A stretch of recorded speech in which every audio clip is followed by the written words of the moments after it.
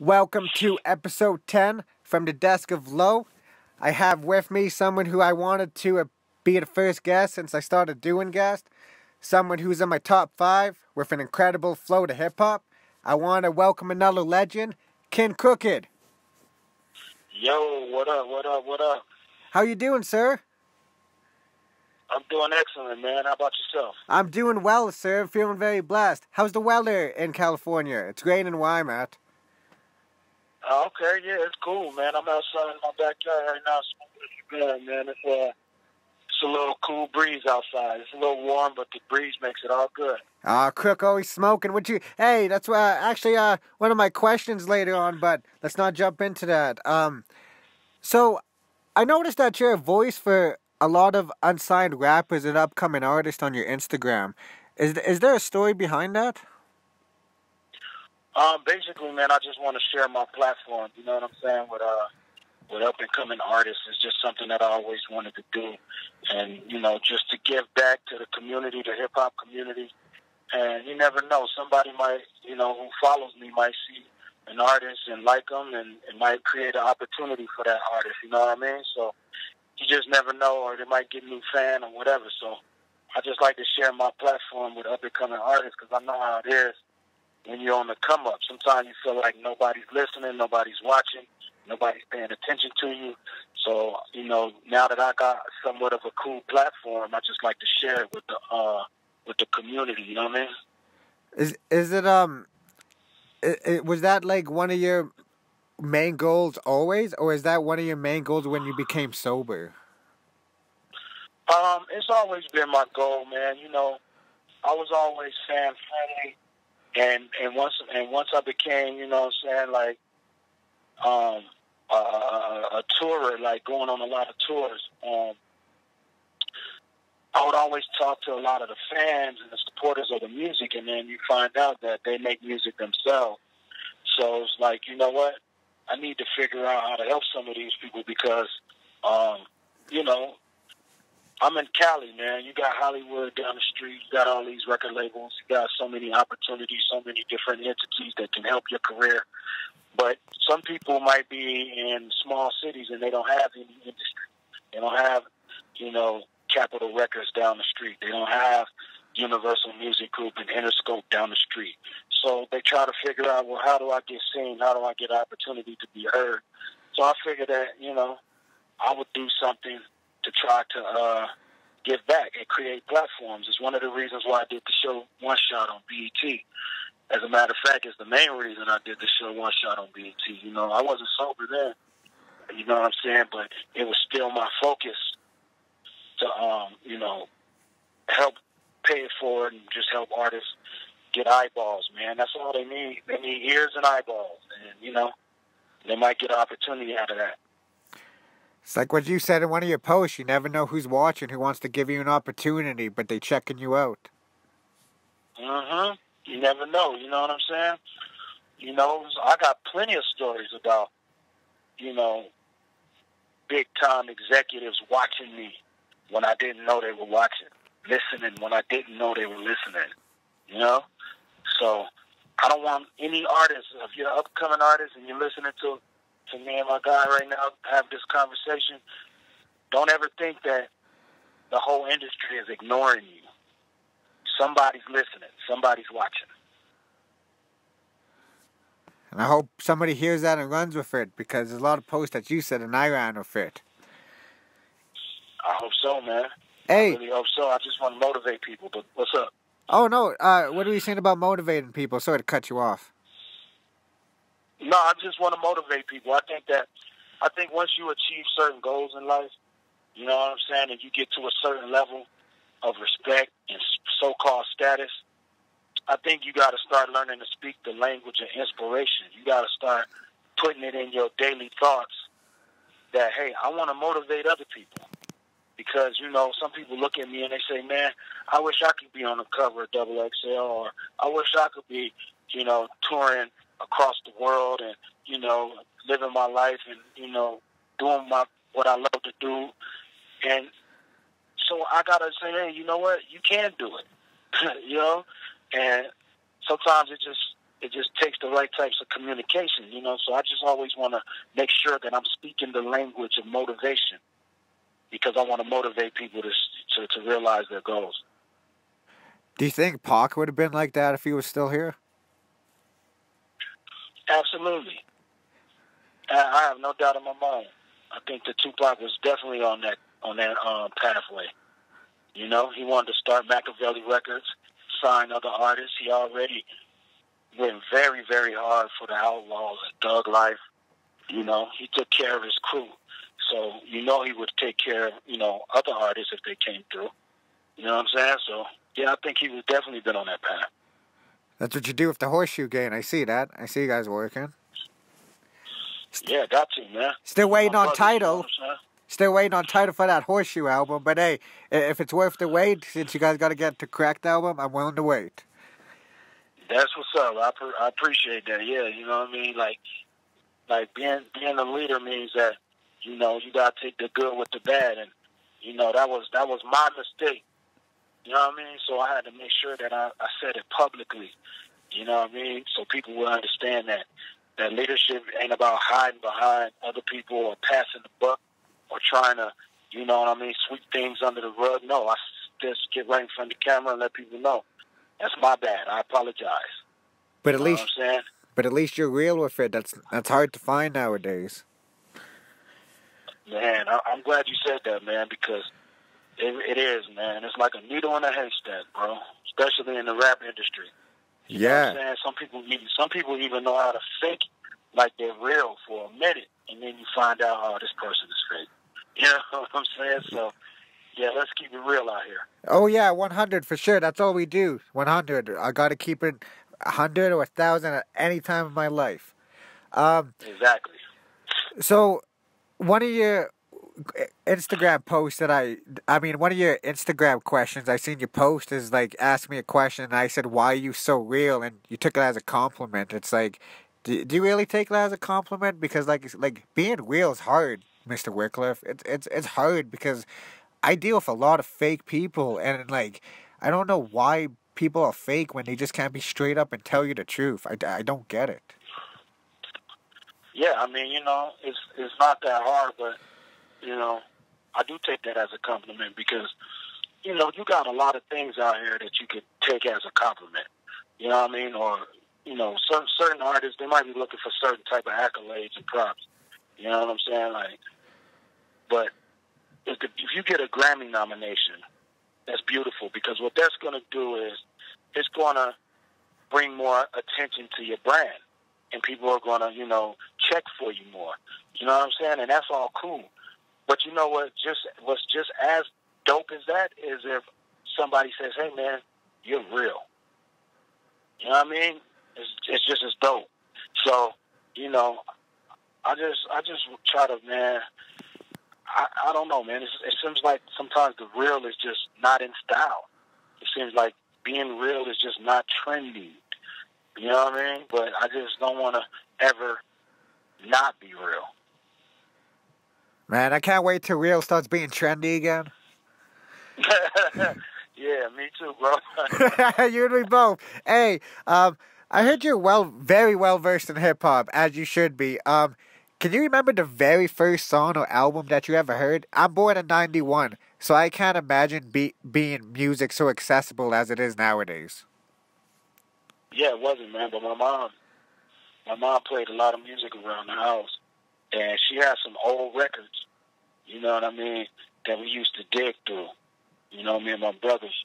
And um, one of them was Rapper's Delight. Oh, okay. Sugar Hill Gang. You know what I mean? And we put that on and said, let me hear this, man. And it's like, we start dying laughing when the rapper starts talking about you know, have you ever went over your friend's house to eat and the food is just no good?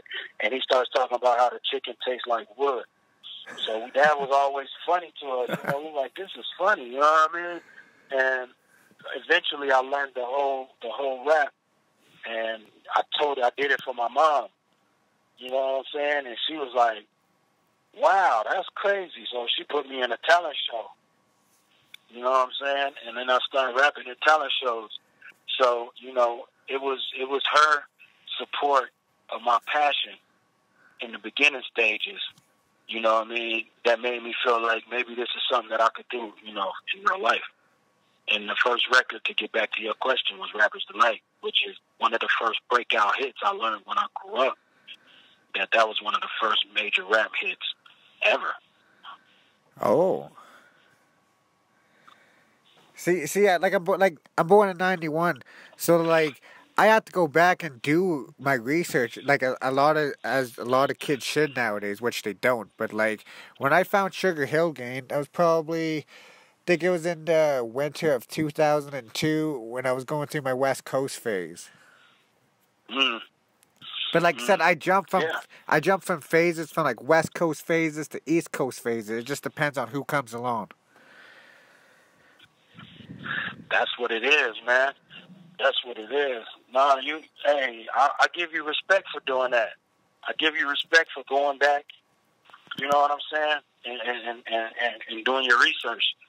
Hats off to you. Hey, I always tag you in uh, Twitter and saying like, "What do you think of this? What do you think of this?" And I don't know if you know that's me or not.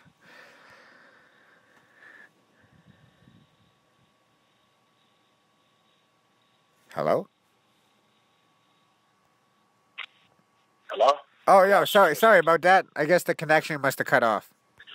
Yeah, it's all good. I'm here. Uh, oh, I was gonna say, uh, I noticed you smoke cigars too. Uh, I, w- I want to ask you, for someone who never smoked cigars in his life, but was always curious, what kind of cigars you recommend, Crook? No prime times, please. Uh, if you ain't never smoked a cigar, you want to smoke one? Um, Something that has flavor. Romeo and Juliet, man. You know, get you a Romeo and Juliet, or you can get a uh, a Rocky Patel, or you can get a um, Cohiba. But me personally, I like the Romeo and Juliet. Romeo and Juliet. I'm gonna go check that out in the Shikari shop as a celebration for this week. Mm, go do it, man. Get you a Romeo and Juliet, light it up. Make sure that it's fresh. Let, don't let them sell you a stale one. You know what I'm saying? And uh, light it up, man. It's it's just you're gonna be very relaxed and chilling. I'll, I'll probably die the first couple puffs until I get used to it, but I'll probably be chilling after that. but wait a minute, do you smoke weed? Oh, oh yes. Okay, so just don't smoke it like you smoke weed. Don't inhale the smoke into your lungs and hold it in your lungs, because then you're right. It's gonna cave in your chest, and we don't want that. You know what I mean? So just smoke it. Kind of treat it like you're sipping out of a straw. You know what I mean? Okay. And just blow it out. You know what I'm saying? Like don't even like you might taste the smoke in your mouth for a little while, just blow it out. Don't let it get inside your lungs and all that. Too many people smoke cigars like they're smoking weed, and then they wonder why they're having an asthma attack. You feel me? Yeah, I don't want that. I want to enjoy the smoke. Exactly. Hey, um, I noticed that you've been like on a like a lot of like uh conscious things lately, and like, I, I this is a question I always wanted to ask you is like, how do you deal with racism? Because I'm Native American, and I've and I've dealt and seen racism with my life and my people's life for most of my life, and I'm just wondering on how you deal with something like that. I mean, you know, just like you do, man. You know, we it's it's first of all we acknowledge that it ex- that it exists because you got some people who deny. They don't even think it's they don't think racism exists, and that's crazy to me because the world, you know, the internet is so much access to everything. You can see it right in front of your face. You know what I'm saying? Yeah. So first, first, first, we have to understand that it really exists, and then we have to understand well, what levels does racism exist? You know what I mean? And then you start thinking about it's a systematic thing. You know, because people often mistake prejudice for racism. You know, and it's two different things. Like me and you, you're a Native American, right? Yeah. So, me and you, we can call people mean names. We could say we we could do we could insult them. We could do all this stuff. We could be prejudiced towards somebody, toward a group of people, but we can never be racist. You know why? Because racism it requires a system behind it. It requires institutions. It's systemic. That's why they call it systemic racism. It requires power behind it. In this country, my people don't have enough power to be systemically racist toward people. We don't control the institutions of law, of education, the taxes. We don't control any of that. So we we don't have the power to be on the level that you know what I'm saying. The European has the power to be on in America. So it's just a lot of layers you got to understand when it comes to racism, and we got to understand the real definition of it, and then we got to understand how powerful it is. Because if we don't understand it, we can't fight it. You know what I'm saying? And we all got to get on one page because its ultimate job is to, to divide people. And that's why I love hip hop because hip hop brings everybody together white, black, native, you know, Hispanic, Asian, Samoan. Hip hop brings everybody together. You know what I'm saying? It's a uni- it's a key of unification. It's a unification tool. So, you know, that's why I love hip hop. But when it comes to racism, its job is to divide and to make some people feel more superior to than to others. So, you know, we just gotta address it. We can't hold our tongues about it. You know what I'm saying? I'm not gonna hold my tongue about some something that's being said that's racist or somebody being discriminated against or some unarmed black kid getting shot down by a white police officer. I'm not afraid to speak on that because it's the truth is real and these things need to change. Now other artists they don't want to because hey, I don't want to get into politics. It's not my brand. I might lose some of my um, endorsement deals. I might lose some of my big movie soundtracks that I'm coming out on. You know, so they won't say nothing. They just in it for the money. That's fine. But you got to move out the way for the real people to come to the front. You know what I'm saying? You got to move because hip hop has always been about education and has always been about unification, but it's been about the truth. We got to spread the truth. We're truth tellers. That's very true.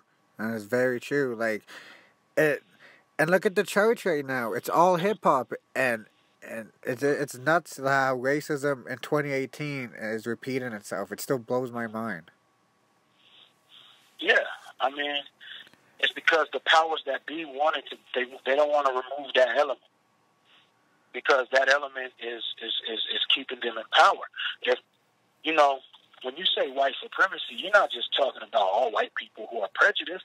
You're talking about an elite amount, uh, an elite group of white people who have certain power, and that power will brainwash its own. They'll brainwash their own people and say, "Yo, don't fuck with them black people right there," you know, and give them a million reasons and propaganda and lies, and they'll go out and they'll believe it, and they don't even understand that those powerful one percenters don't give a fuck about poor whites.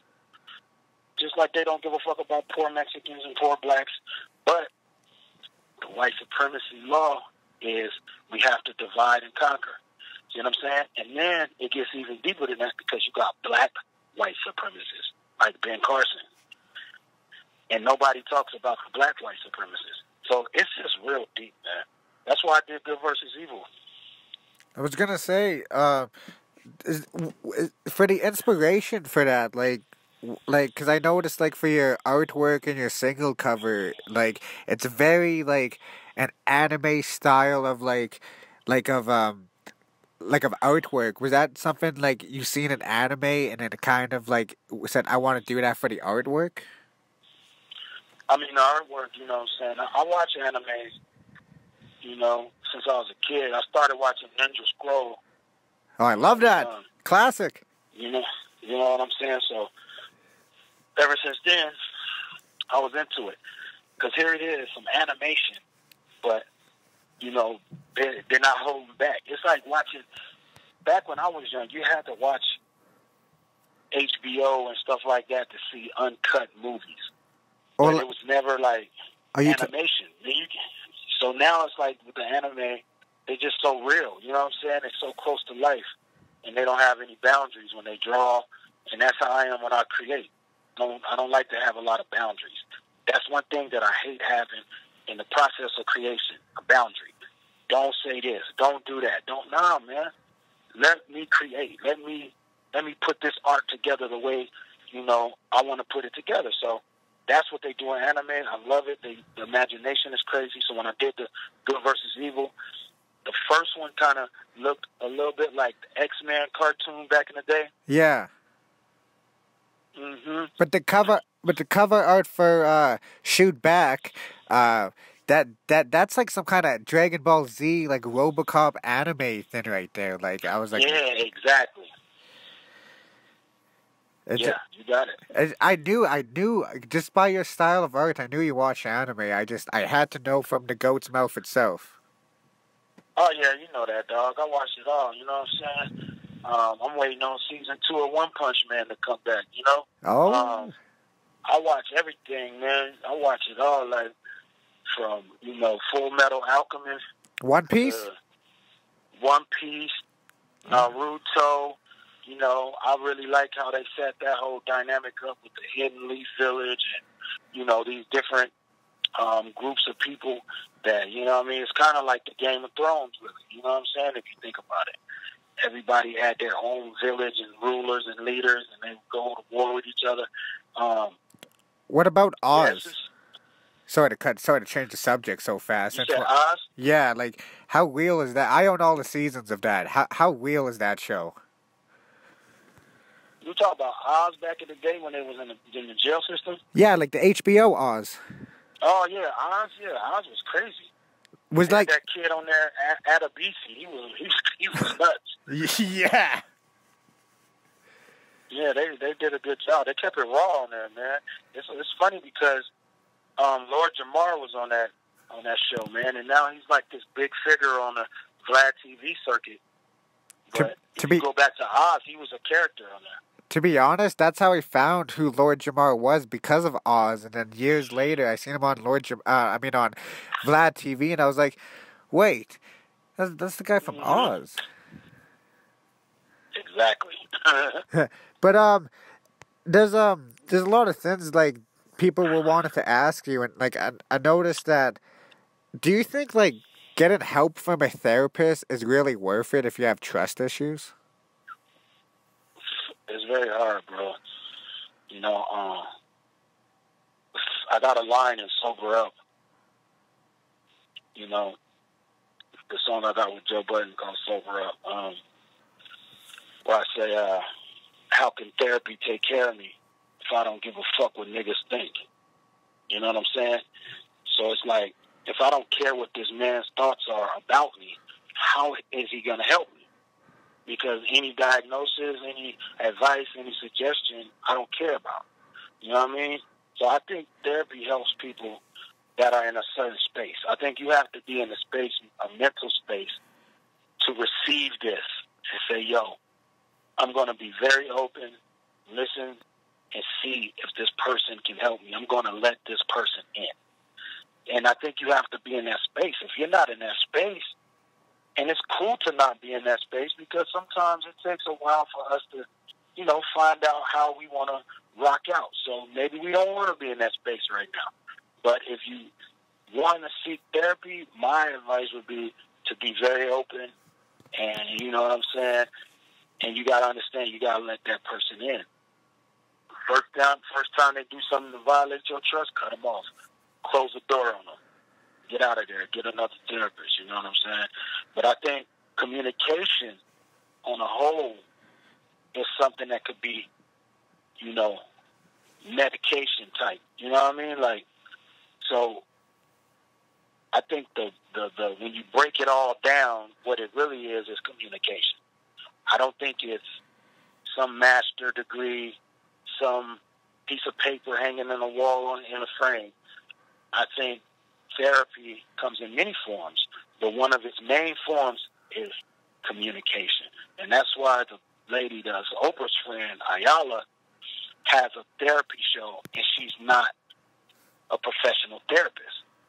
She's not. She doesn't have a degree in that area.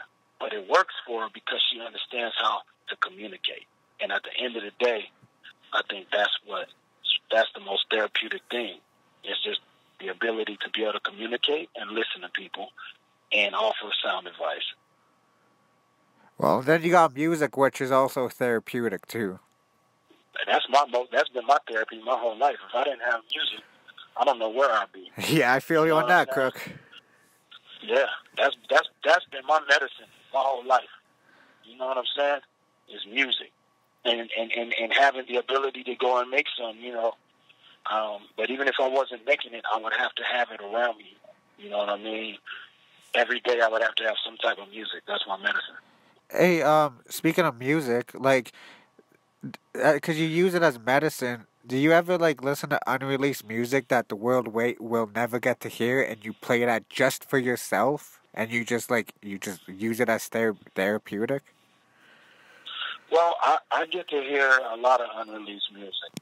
You know, I have unreleased Eminem music. I have unreleased Slaughterhouse music. I have unreleased music of my own. I have unreleased Horseshoe Gang music. I got tons of unreleased music. And it's always cool to go back and listen to some of that stuff and wonder what people would think if they ever heard it, you know? And just to know that maybe one day it'll come out, maybe it won't. But, you know, it feels like you have a treasure chest full of jewels. You know what I mean? And it's a it's a good feeling to go and listen to stuff like that. You know, sometimes I share it. Like the other day on Instagram, a couple weeks back, I shared an unreleased version of Phenomenal, Eminem song. Because when M, when M made Phenomenal, he sent it to me, and he was like, "Yo, I want to get you on this joint." And I was like, "All right, cool." So I did a verse to it. You know what I'm saying? And then he ended up wanting to put it, I think, in the Southpaw soundtrack.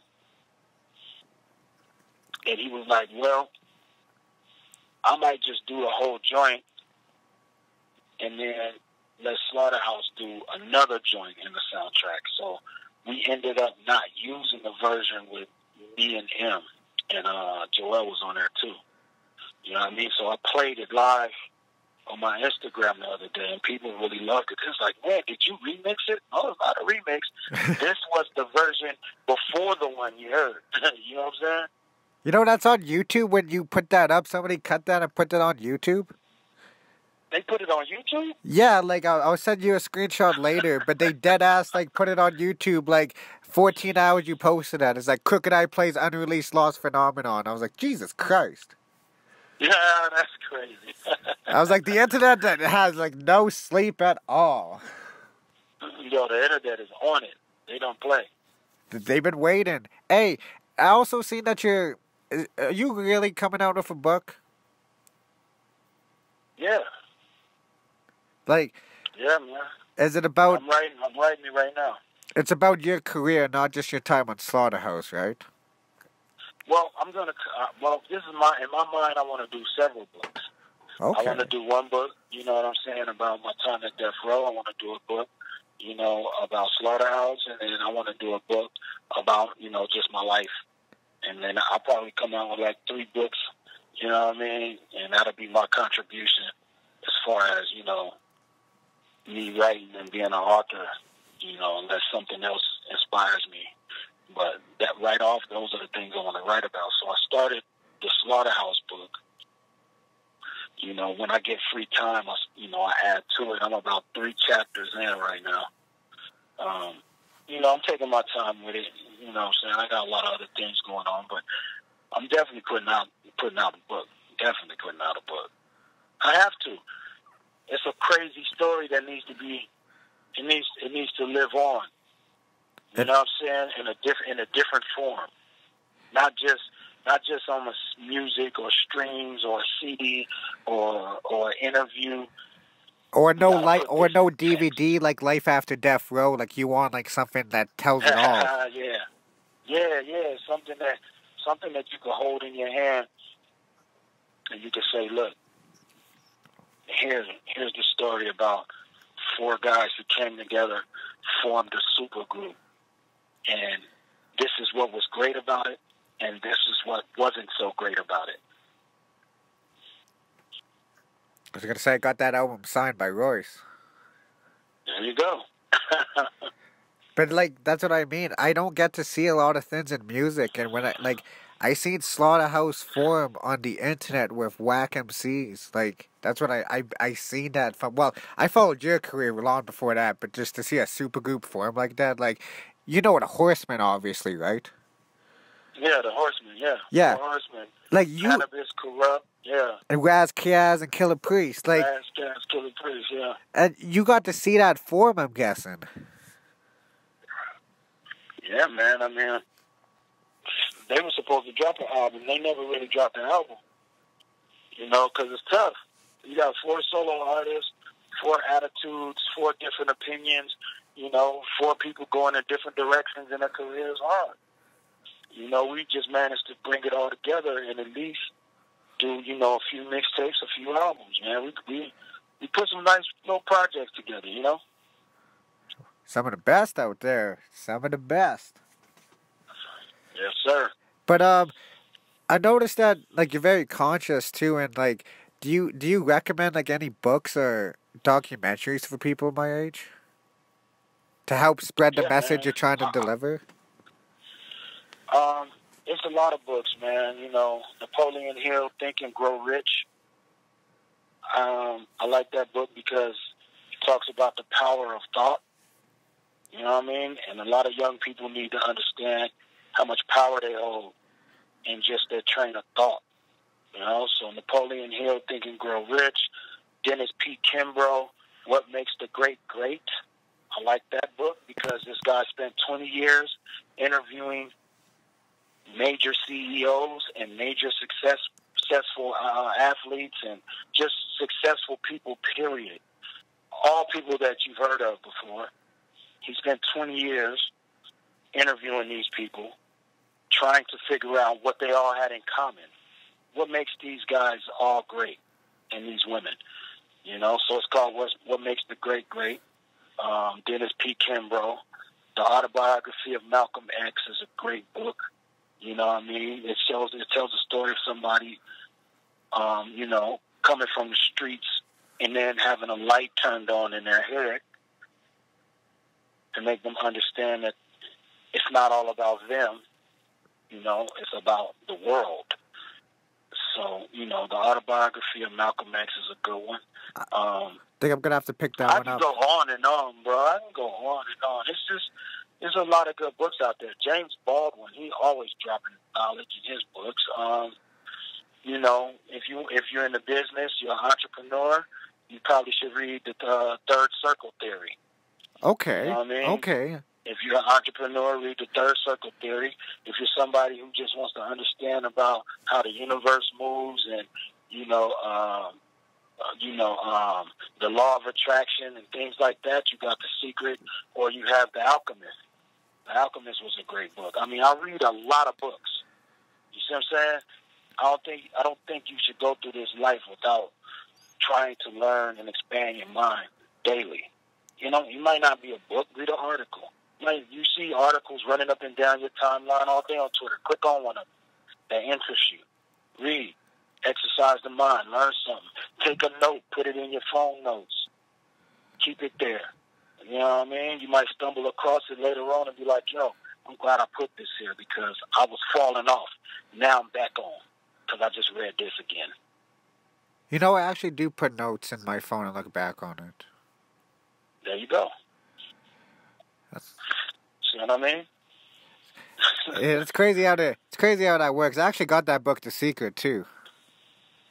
Yeah, the secret was dope, man. You know what I'm saying? And some of those authors that came together to make that, they have their own books that are dope too. You know what I mean? So this is a lot. You know, just read, man. You know, we got it's easy now. Put on your iPad, Sorry, what's that? digital thing, and read. Hold on one sec. I gotta plug my phone to her. Oh yeah, no worries.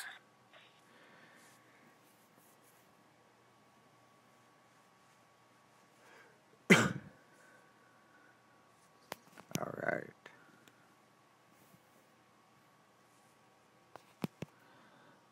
You there, bro? Yeah, I'm still here. My bad. My bad to the podcast. Hey, don't worry. They they understand. They understand. It's only it's only. I start small. It's okay. Yeah, man. Hey, I was gonna ask But, you uh, too. Um, What's up? how how did you stumble upon Anchor? Because that's what I'm using. Uh, man, I just, uh, how did I stumble upon Anchor? You know what, bro? I think I saw some kind of article. Nah, you know what it was? It was Gary V, bro. You Oh know no. Gary V? Yeah, I follow him on the gram.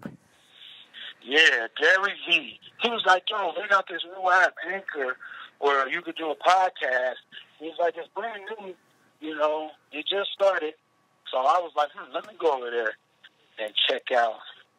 You know what I'm saying? Let me check this out myself. You know what I mean? If Gary V on it, you know, let me get on it. I like Gary V. He's uh he's an inspirational guy. You know what I'm saying? So I said, let's do it. And I checked it out. It was cool. I said, man, let me get some of these thoughts out. You know what I mean? Because a lot of people ask me a lot of stuff, and I don't have a whole lot of time. So when I get my free time, it's like, man, let me let me put some of these thoughts in the air. You know what I'm saying? So it was it's fun, man. I, I I plan on doing more a little bit later. I just been working on adding more value to myself by, you know, um, learning a couple new skills that's gonna help my bottom line. Hey, and that's all it takes. Like you gotta learn. You gotta build yourself up before you can help others. You gotta believe it. That's right, sir. That's real. Hey, I got two more questions for you, sir, and then I'll let you go because I understand you're a very busy man. No doubt. Let's fire off. Fire off. Um, so with Poem City, what do you try to achieve with that, sir? Poem City, man. Like I said, the story behind Poem City, real quick. I wrote a bunch of poems when I was in the first grade. My mom formed them into a book. She asked me, "Okay, so what do you want to call the book?" I said, "Poem City," and it was just a book of my first, my first book of poems that I ever wrote. So when I started cu- jumping into the media game, I didn't really have a company. You know what I mean? I did one shot for BET, and I have a host of other TV shows in my mind that I want to do, and different types of media I want to be involved in. I need a company for it all. So I said, hey, let me call it Poem City and bring it all full circle, just like when I was a kid.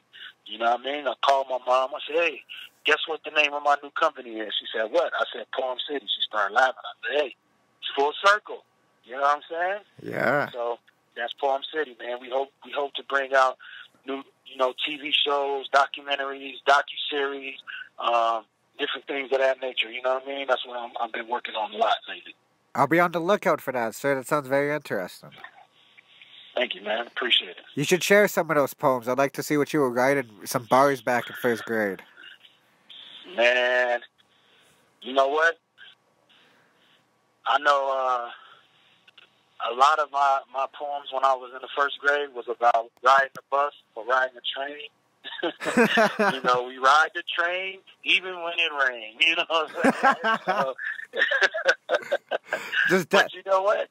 Th- those bars are might might be better than some of these that's out now. You feel me? Oh man, I can name a few because I ain't gonna interview him. It's way better than that six nine kid. Oh god, I can't stand that kid.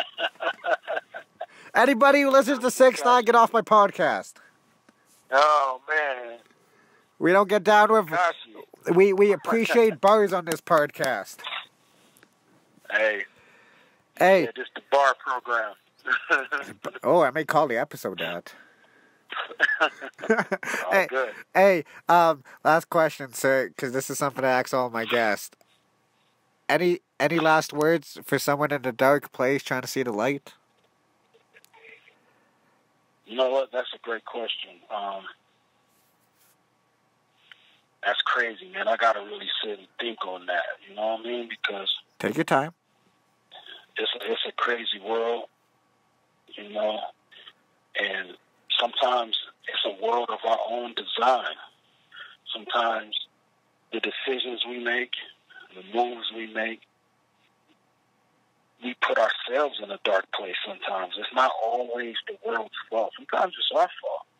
And we just gotta look within and ask ourselves, what could I do better? that will make me feel better? What can I do to better myself? You know, and we got to understand that they say time heals wounds. There's a lot of truth in that. Some people they say, "Nah, that's bullshit." I say, "Yo, there's a lot of truth in time healing wounds, but we got to be open and let let time do its thing." You know what I mean? Like I remember when my uncle first died of cancer. You know, he was my one and only father figure from my father's side of the family. You know, my father bounced out on me when I was young. I didn't really have no relationship with him. My uncle, he was always there for me. I said, hey, uh, I got a uh, meeting at a, at a record label, and he would give me the money to get a new outfit and go up there and play my demo for record execs. He was in my corner. When he passed, it hit me hard. I remember I couldn't even go past the hospital that he was that he died in. I watched him die in the bed. You know what I'm saying? Yeah. So I used to go on different route because I didn't even want to pass the building. And that's just one thing in my life that had me in a dark place before. But now I look at it from a different angle. He's no longer in pain. You know what I'm saying? The pain is gone. And his memory will always live. I put him in my verse on Goodbye on the Slaughterhouse song. It's forever now. People hit me up and say, yo, this is dope, man. It helps me when I'm thinking about my personal life or thing people in my life that have passed away from cancer and what whatnot. So we just gotta look within and try to view things from a different angle. And sometimes that different angle will show us there is a light at the end of the tunnel. And sometimes we got to get out of our own way. Because sometimes we're the one blocking the light, but we don't we don't understand that. We have to understand that we have to get out of our own way sometimes and let that light shine and communicate with one another. Like I always say, hit me on the DM if you're feeling like that. If I get time, I'll definitely hit you back. That's what I got to say to that. And with that being said, I hope somebody takes that and, and helps them one day. Because that's what the main reason I started this podcast was to help people. Word. But That's what's up, bro. But like I said, that's the end of episode 10. Like I said, this is somebody I wanted since the beginning of the podcast, and it just shows you that if you chase your dreams, it comes true. And I'm out. One.